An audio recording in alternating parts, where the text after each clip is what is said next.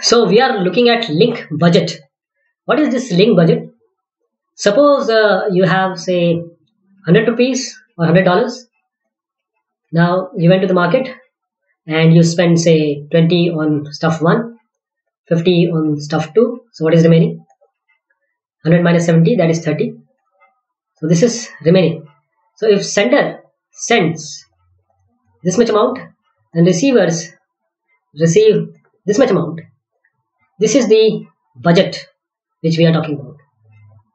The send power minus all the losses and the receive one. This is the link budget. This is the transmitter TX antenna. This one is the receiver antenna RX. A power transmitted PT. Power received PR through unguided media or free space propagation. Transmitter sends with some gain GT and uh, receiver receives with gain GR. And in this sequence, some signal strength decreases due to path loss. Some out of phase reflected signal, they may add to the main signal. This is all happening. Power in a wireless system, the same situation. Whatever we send, some is received. Because of path loss, there is degeneration in the strength. This is the EIRP. EIRP means the gain of the antenna plus the sent power or the power which is with power of receive uh, send signal along with the antenna gain of the receiver. Now this is the receive power. This one is the receiver sensitivity.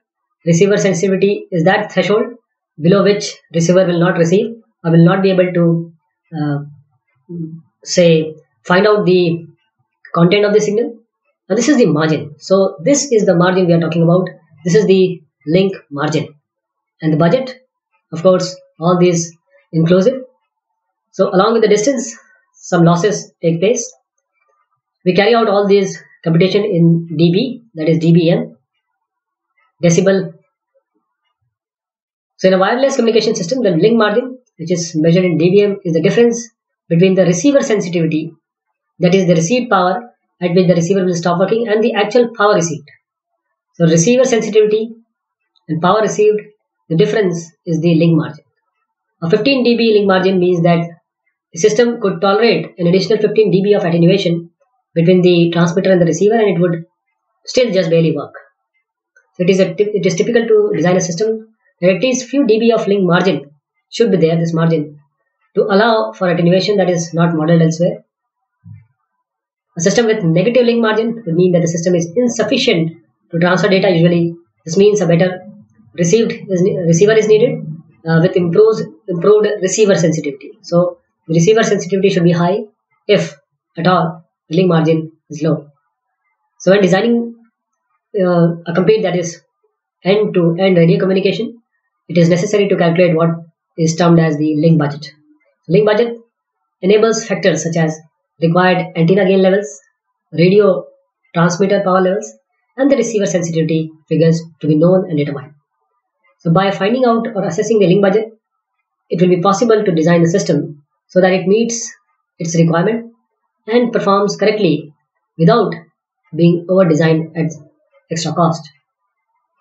It becomes crucial that the required signal levels are maintained to ensure that the receiver signal levels are sufficiently high above the noise level signal to noise ratio to ensure that the signal to noise levels or bit error rates are within the required limits. However, the uh, larger antennas they have high transmitter power levels that required uh, and you know the cost is considerably high. So it's necessary to balance these to minimize the cost of the system while maintaining the performance also. So what is link budget? Link budget is an accounting of all the gains and losses in a transmission system. The link budget is can be written in this form. Received power will be equal to transmitted power plus the gains minus the losses. So transmitted power added with the gains of the antenna, both the antenna receiver and uh, the sender, along with all the losses incurred. And these losses may vary with time, it may be fading, and allowance must be made within the link budget for this. Often the worst case should be taken, or alternatively an acceptance of period of increased bit error rate for digital signals or degraded signals to noise ratio to analog signal. So bit rate is taken for digital and uh, signal to noise ratio for analog signals.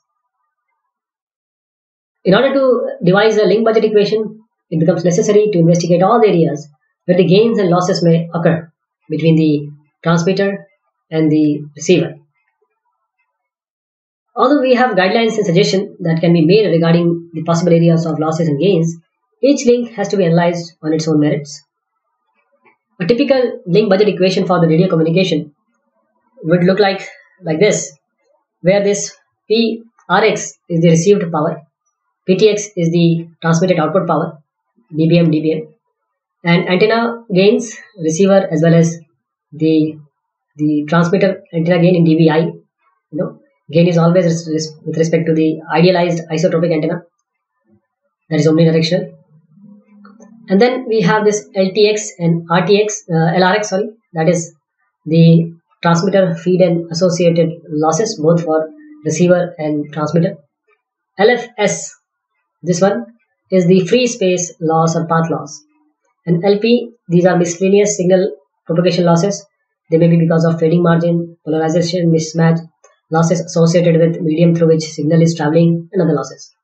And for the sake of showing losses in the link budget, equation is you know minus actual loss figures that is LTX and or LFS should be taken as the modulus of the loss.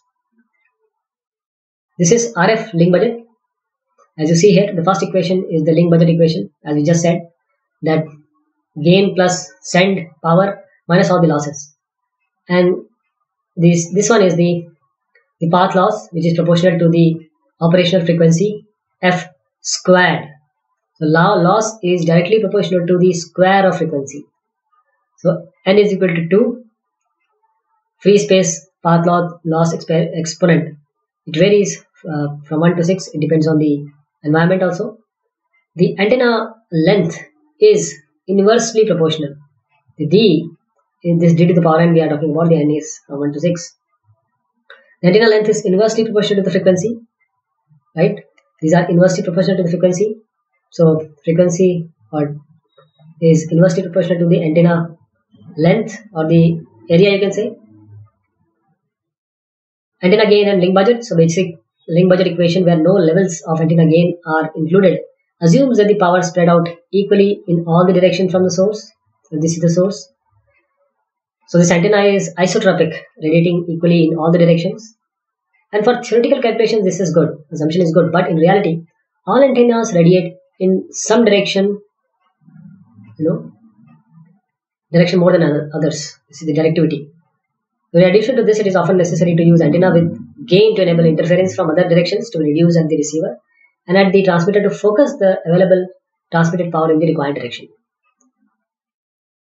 the gain figures related to isotropic sources are quoted as dBi that is dB related to an isotropic source and gain levels given for an antenna may be gain related to the dipole, where the figures may be quoted as dBd, dB related to dipole, dBi is related to isotropic source. What is the effect of multipath propagation? For true space propagation, such as that in for the satellites, there will be no noticeable reflections and there will be only uh, you know, one major path. For terrestrial system, the signal may reach the receiver via a number of different paths. You know, it may reach like this, it may reach directly like this as a result of reflections, etc. That will occur as a result of the objects around the path. Building, trees, objects around the office and home can all cause reflections that will result in signal variations.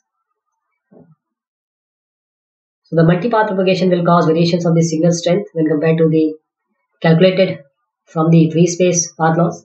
So if the signal arrive in phase with the directed, directed signal, then the reflected signal will tend to reinforce the directed uh, direct signal. But if they are out of phase, then they tend to cancel out.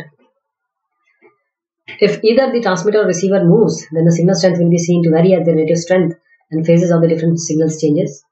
In order to allow this in a link budget, link budget is added into the equation. A link margin is added into the equation to allow for this. Link budget calculations are an essential step in the design of radio communication system. A link budget calculation enables the losses and the gains to be seen and devising a link budget enables the apportionment of loss, gains, and power levels to be made if changes need to be made to enable the radio communication system to meet its, its operational requirements. So only by performing a link budget analysis is this possible. This is just an example of certain software, how the link budget is computed.